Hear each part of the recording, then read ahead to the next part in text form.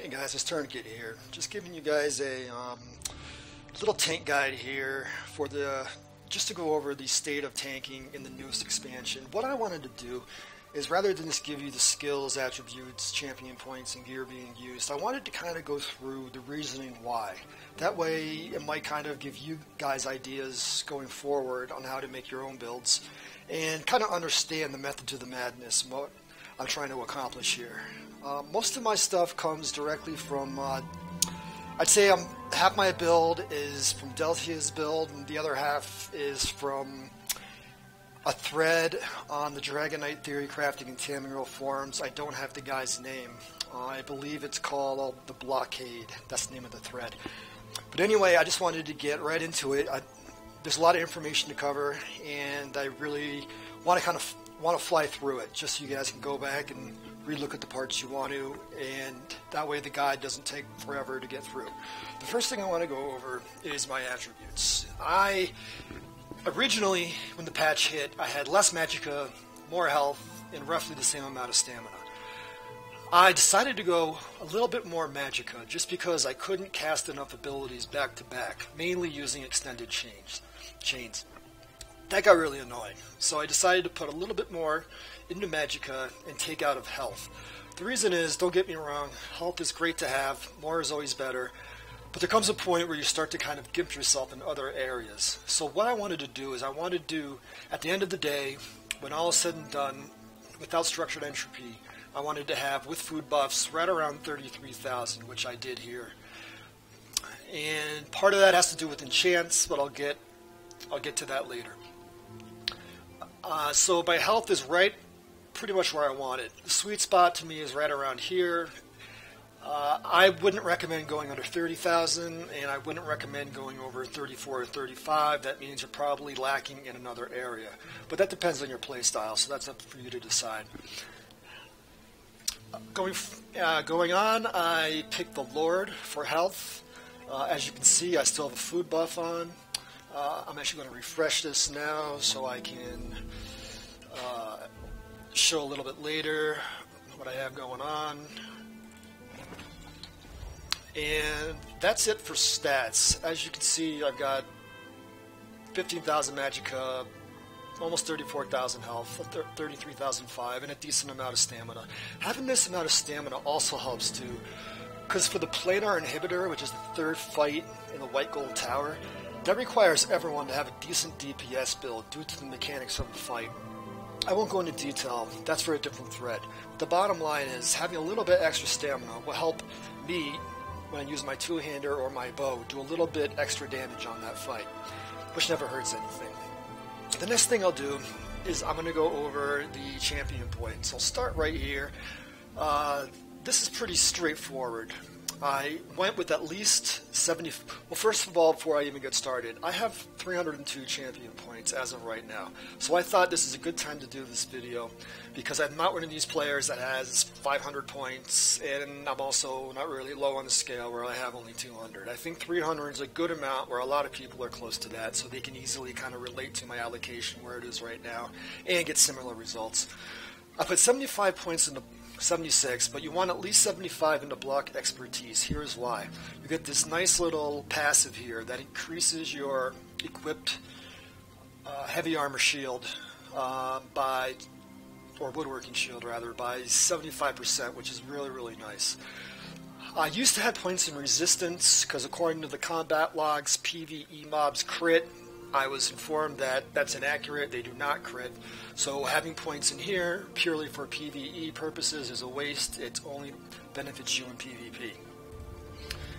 Uh, Elemental Defender, I put at least 10 points here because for any class or for any role, this really is beneficial. This can mean the difference between life and death, since a lot of the damage we do face in the four mans in, in trials is in the form of elemental damage. So anyone can really benefit from at least 10 points. The more the better. So as time goes on, I'm going to bump this up to probably 20, at least 30. Uh, the last part of it, I put everything else in the heavy armor focus. With 15 points, I can pretty much, and I'll show you this in a bit, I can reach the um, armor cap, which puts me at 50% mitigation. I'm really close to it. That's including um, hardened armor also, though. So that's a little caveat, but I'll, I'll get to that later. Moving right along here, because we do not have a big magic pool, I put a lot of points into the magician with about about a two to one ratio into warlord. The, these are the only two trees that I put right here, two uh, abilities that I put points into. I put 30 into Arcanist for faster regen because our pool is smaller for Magicka, and I didn't put any in Mooncalf. I might add maybe 5 or 10 over time. The reason is, because we are going to be blocking a lot of the time in this new patch. Not much has changed as far as playstyle. You really still have to block a lot of the time, and you have to plan out your tanking build for it. There was talk about trying to rely on Magicka based shields, and your healers are going to hate you for it. Not only is it not going to work, your damage is going to be so spiky that you're probably going to end up going from 100% once the shield wears off down to like 10% or dying. It's just not a good idea. If you want to be a Dragonknight tank, you're going to have to pay the price and put the points where you need to into reduced block cost and try to offset the costs of stamina the reason, and kind of, I kind of went off on a tangent there. The reason I didn't put any here is because you're blocking most of the time, and you don't get any benefit while you're blocking your regen.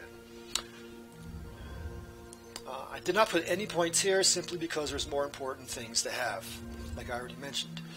Here, I put 45 points into Blessed, which will increase my healing from Dragon's Blood and I'm not going to put any more than 20 points probably into Elfborn. I think that's a good amount to keep for now. And this is kind of where I want it to be for this tree right here. That gives me a nice little healing boost. I skipped this entirely. Going forward, I really do like this ability, but this is kind of a ability that's nice to have later down the line. It's not urgent for you to be doing DPS as a tank or getting 30 points to access this. However, it is really nice.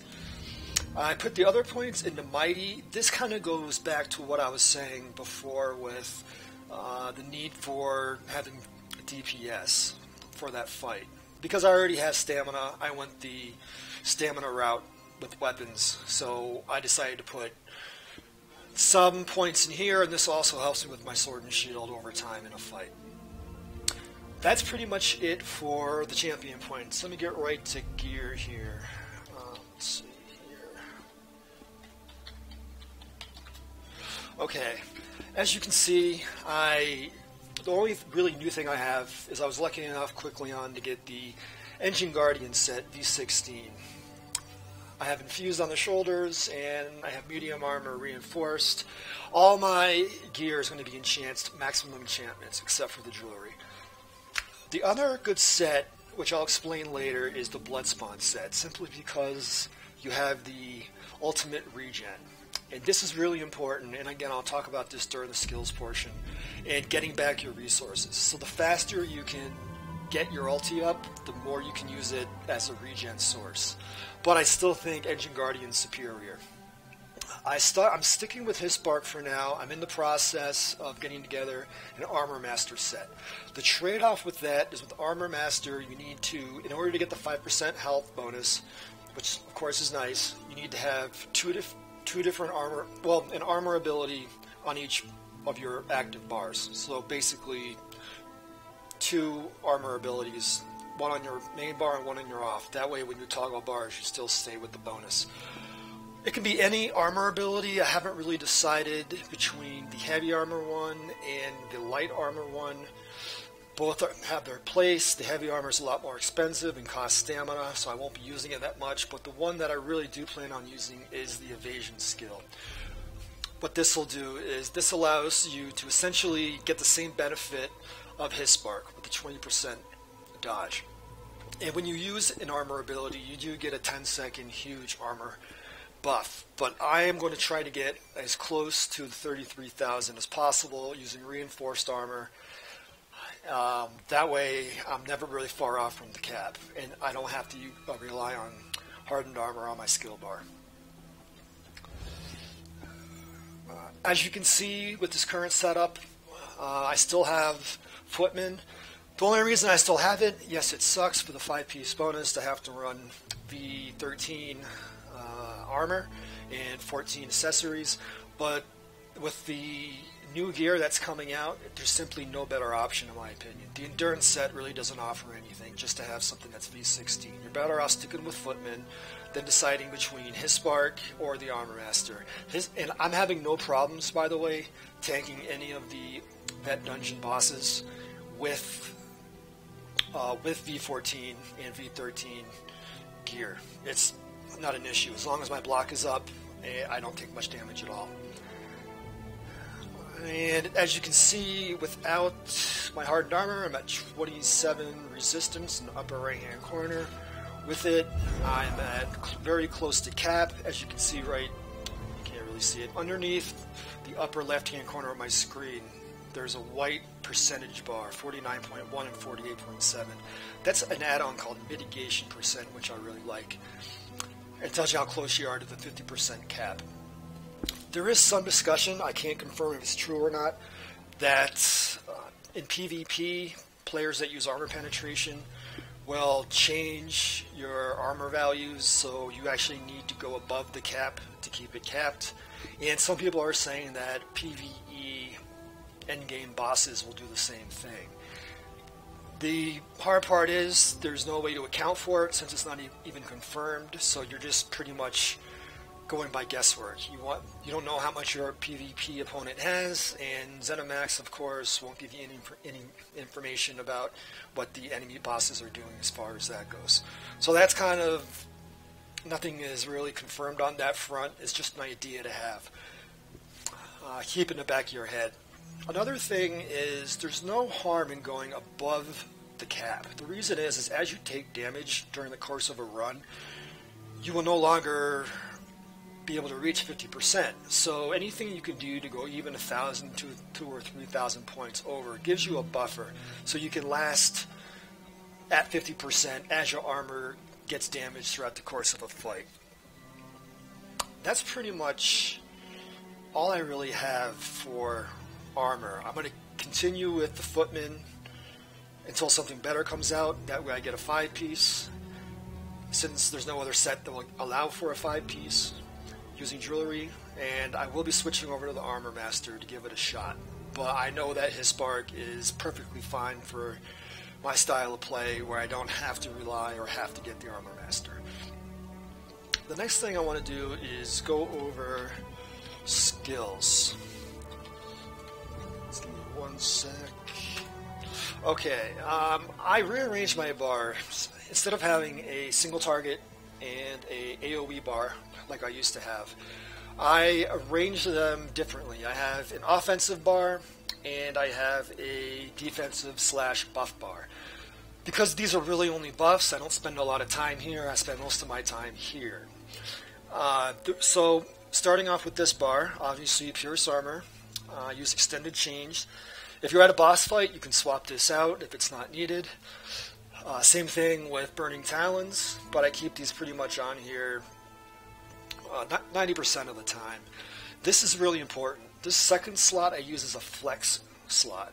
I have defensive stance simply because A, it reduces damage and it reduces the cost. I have this on both bars. I always keep it here. This way, even if I don't have it on my first bar, I can swap it here, activate it to reflect a projectile, and just swap back. I do this a lot. Uh, but I keep them both here. Otherwise, I will switch depending on what I'm doing to either Stone Giant or Fossilize. If I'm dealing with an encounter that has a healer that I just want to take out of the equation and kill the other mobs first. The other thing I might use is I use Heroic Slash. This will help me, as I said earlier, gain ultimate and put the physical damage debuff on the boss. Uh, again, you don't have to do this. You can also, if you want more health, you can go with the uh, structured entropy. However, that's currently bugged right now. I don't know the exact details of the bug. It has to do with potions being put on cooldown, so you want to hold off. But you can also use this. Um, but the main, uh, the main abilities I use are right here. As far as the buff bar, I honestly have my range taunt. I don't usually use this that often, but I always keep it available. Uh, hardened armor, self-explanatory. Uh, Igneous Shield I want to bring up. You want to have at least one ability from the Earthen Heart tree up at all times. So whether it's Eruption or Igneous Shield. The reason is the passive. The passives they have will let's see here. It'll allow you to gain back stamina uh, even when you're blocking. That's what's nice about this. And another thing I want to bring up at this time is Battle Roar. This will, anytime you do any ultimate, you will regain all three of your resources up to 70% of your ultimate's cost. I use this a lot, kind of as an emergency move later on in the fight. If I'm running low on uh, resources, I will usually start off. I know I have Standard of Might in there, but I normally begin the fight with Ferocious Leap. The reason is it gives you a nice little uh, damage shield, and it's very, very cheap. So if you run into a jam and your healer is not throwing shards and you didn't manage yourself that good, your resources, you can usually get this up pretty quick, pop it, and it gets you out of a jam, at least buys you time. The other one I really like to use is Magma Shell. The reason is you can pop this and literally not block for 10 seconds. And you can pop, while you're doing that, you can pop your Green's Dragon's, Green Dragon's Blood and get faster regen. So you can pretty much go from close to zero to almost 100% simply by popping this, not blocking for that 10 seconds because you don't have to, and popping this first, of course. This gives you a boost to your healing, then popping this. Uh, you don't need Magma Shell. You can either, I like it simply for that reason. You can keep this, or use Warhorn, or use Standard. That's pretty much it for the abilities and that's pretty much it for the guide. I'm trying. I don't think I missed anything major, and hope you enjoyed it. If you have any questions, find me in game, and I'll talk to you later. Bye.